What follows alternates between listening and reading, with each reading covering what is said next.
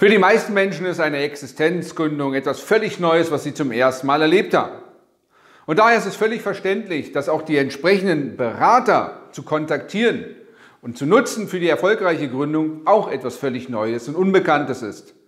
Meine Aufgabe wird es heute sein, ein wenig mehr Licht in die Sache zu bringen. Wo und wie können die Berater überhaupt vor und nach der Gründung helfen? Mein Name ist Daniel Schäfer und ich bin nicht nur Gründer der X-Group, sondern habe viele andere Unternehmen aufgebaut.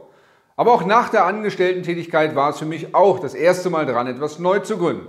Und ich habe damals viele Fehler gemacht und genau hier kann dir ein Berater helfen, viele Fehler nicht zu machen, um möglichst schnell zu deinem Ziel zu kommen. Bereits vor der Gründung kann der Berater dir helfen, überhaupt deine Geschäftsidee zu bewerten, zu analysieren, die Strategien zu überprüfen, eine Machbarkeitsanalyse zu machen, den Markt zu bewerten, die Mitbewerber zu bewerten und auch zu gucken, welche Finanzierungsmöglichkeiten stehen überhaupt für dich zur Verfügung. Als nächstes kann der Berater dir dann helfen, eine konzeptionelle Planung zu entwickeln, also das Konzept, wie der Markteintritt wirklich gut gelingt und wie deine ersten drei Jahre Anlaufphase abzubilden sind und wahrscheinlich auch verlaufen werden. Als nächstes kann der Berater dich auch dabei begleiten, die entsprechenden Finanzierungsinstrumente nicht nur zu beantragen, sondern auch zu bekommen. Sprich dich vorzubereiten auf das Gespräch mit dem Sachbearbeiter bei der Agentur für Arbeit, auf das Gespräch mit der Bank, wenn du Fördermittel dort beantragen willst, oder auf das Gespräch oder das Pitchen vor den Investoren, wenn du Privatkapital einsammeln willst. Viel wichtiger aber für dich in der reellen Umsetzung ist die Projektplanung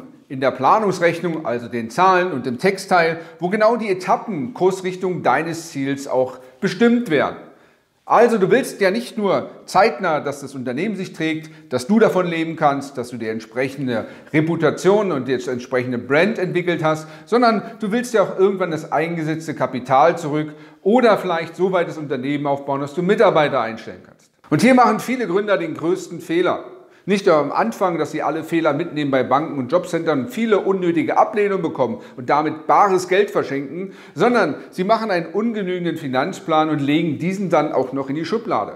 Entscheidend ist aber, dass du mit einem Berater gemeinsam, mit einem Mentor gemeinsam über die Monate, über die Jahre, jeden Monat dich wieder zusammen hinsetzt und analysierst, wo wollte ich hin, wo bin ich heute, gibt es eine Kursabweichung und wie kann ich diesen Kurs korrigieren. Von daher kannst du die Berater besten vergleichen mit der Tätigkeit eines Reisebüros. Vor dem Antritt der Reise planst du alles und du kannst dich auf Experten verlassen, die genau wissen, wie und wo es dort sein wird, wo du hinfahren willst, die die Rahmenbedingungen kennen, die die Impfpflichten kennen, die die Währung kennen und die auch empfehlen, welche Hotels, welche Orte solltest du besuchen, welche besser nicht. Und nachdem du im Reisebüro warst, kommt dann schließlich der Reiseführer und der begleitet dich dann in allen Etappen, Kurs Ziel, der holt dich ab, warnt dich und führt dich an den Untiefen vorbei und an den Klippen, bis du schließlich mit ihm gemeinsam auch das Ziel erreicht hast. Und dazu möchte ich dich ermutigen, gerade wenn es deine erste Gründung ist, nicht alleine auf Tour zu gehen, sondern dir einen professionellen Berater oder sogar ein Team an Beratern zusammenzustellen, die dich bei der Vorbereitung, bei der Prüfung deiner Idee begleiten, bei der Umsetzung und schließlich auf dem Weg Kursrichtung Ziel. Und hierzu kannst du jetzt nicht nur das Video jetzt liken, den Kanal abonnieren, sondern auch gerne Gebrauch machen von einem kostenfreien Erstgespräch. Gerne sind wir deine Begleiter bei der Vorbereitung, aber auch bei der Durchführung bis zum Exit zu dem Zeitpunkt, wann du dann schließlich ein Unternehmen mit hohem Mehrwert auch verkaufen kannst. Dein Daniel Schäfer.